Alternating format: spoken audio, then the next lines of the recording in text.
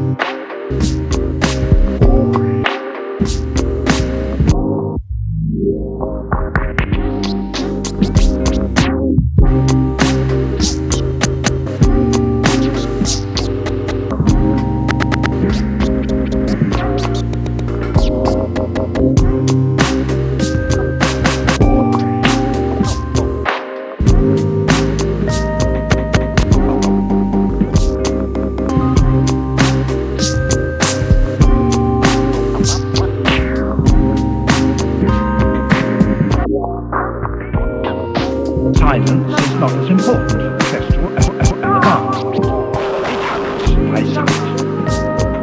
The wind has dropped. Now, now to keep its position relative to the ground, it has to flap to keep the air moving over its wings. It's spotted. It's spotted.